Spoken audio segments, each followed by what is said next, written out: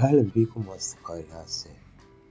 معنا النهاردة صديقة جميلة ثورة روضة صديقتنا الجميلة فقدت أحد ذراعيها بسبب إصابتها بالكانسر.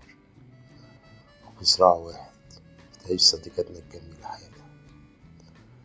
تحديات كتير بتواجهها بسبب المجتمع اللي بتعيش فيه. صديقتنا الجميلة بتعيش في مجتمع ريفي. حياة شبه بدائية.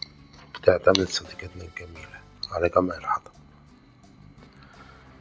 وبذراع واحد بتعيش صديقتنا الجميلة حياتها. بإرادة قوية بتتخطى كل إعاقة بابتسامة جميلة. كلها أمل ورضا وثقة وسعادة. تتحدى صديقتنا الجميلة الإعاقة تتحدى كل صعب. صديقتنا الجميلة نموذج جميل للمرأة القوية صاحبة الإرادة